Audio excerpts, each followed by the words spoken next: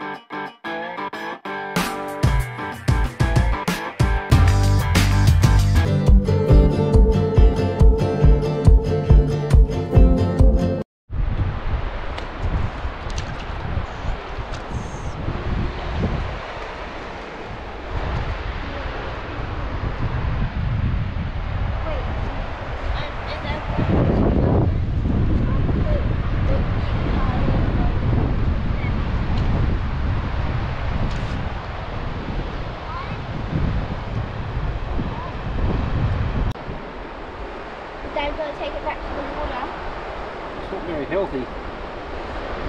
Yeah, Yeah. probably needs to go in the water.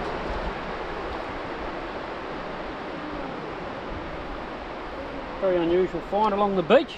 Sea snake, I've never seen this before. I don't know if he's very sick or what. Same thing sea snake I've seen in my life. How many snake snakes have you seen, Billy? Two. Can you say snake snake, sea snake really fast 10 times? No.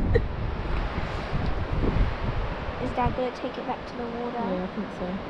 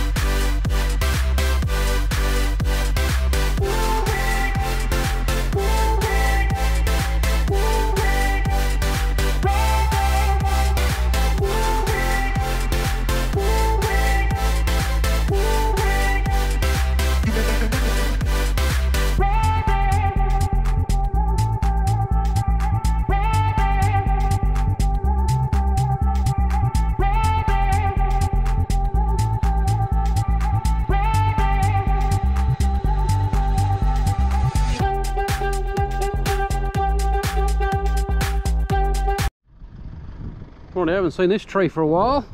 Um, Bauhinia, or there's a couple of different sites. There's white and there's red, and that, that all depends on the actual flowers.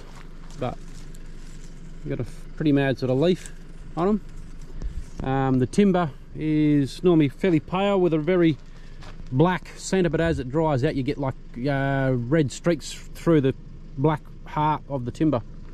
Um, very nice sort of timber. And this is a few different types of tree. Um, so if there's some flowers on, I could show you, but there's red bauhinia or white. I'm pretty certain it is. Um, the red I know is definitely over in Queensland because I've got some from over there. Um, so anyway, it's another tree species. Um, some people might be interested, others not so much. But anyway, that's it. Red bauhinia. Yeah, nice, nice timber as well. This tree here is um, the top of beefwood. I think it's silver beefwood going off the bark. That's the long leaves on it. Um, so that's the bark. It's a very pale, pale grey. Normally you get the real black is the um, normal beefwood, which is a chocolate brown. Um, obviously looks like a piece of steak, that's why it's called beefwood. Um, this one here, we'll see if we can snap a little piece off. And you can see it's very, very pale. Um, try and get it in the sun. There you go. And that's the whole colour of it. Um, looks like oak with the banded um, stuff in it, but that polishes up quite nice. Um, yeah, so anyway, I think that's the silver beefwood. Um, yeah. So this here's paperbark. Nice little yellow flowers up here. Pretty cool paperbark tree. As you can see, old paperbark. Just because you can pull it off just like paper. Can't even write on it sometimes if you're lucky enough to pull a piece off. Um, yeah, so anyway, that's that tree. Um, yeah, everybody's got a bit of a small board going on. I haven't seen a few of these trees for quite some time because I haven't been up this area for a while. So anyway, that's the um, tea tree. Um, in New Zealand it's called uh, Manuka is the same tree but in New Zealand that's what it's called so if you obviously get some honey from tea tree basically the same as Manuka honey a lot of people don't know that um, anyway you do now Rightio, here we are, some more bloody trees again. So this is that, another variant of that um, It's not as red. You can sort of see now I'm rubbing the bark off, it's gone a bit more red. But this is a small variant. Um, as you can see, it's got a round leaf instead of a long skinny one.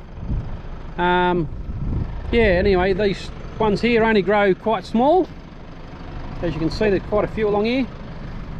But they normally um, sort of more like this one.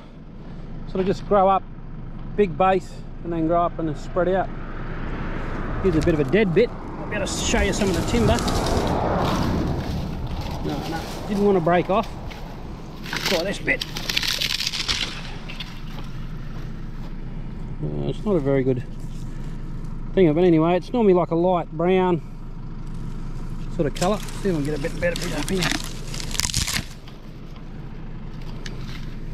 Anyway it's normally like nice little brown colour. Um, yeah, it gets a few grubs in it.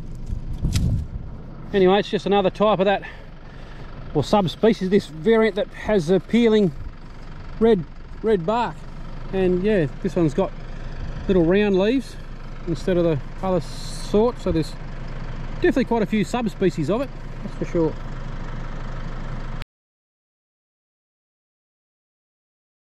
Oh my god! Oh, now, he, now he's away, Billy. You filming? Yeah. Yeah, oh, yo! Whoa! Got him, Billy? By the butt! Oh no, by the mouth.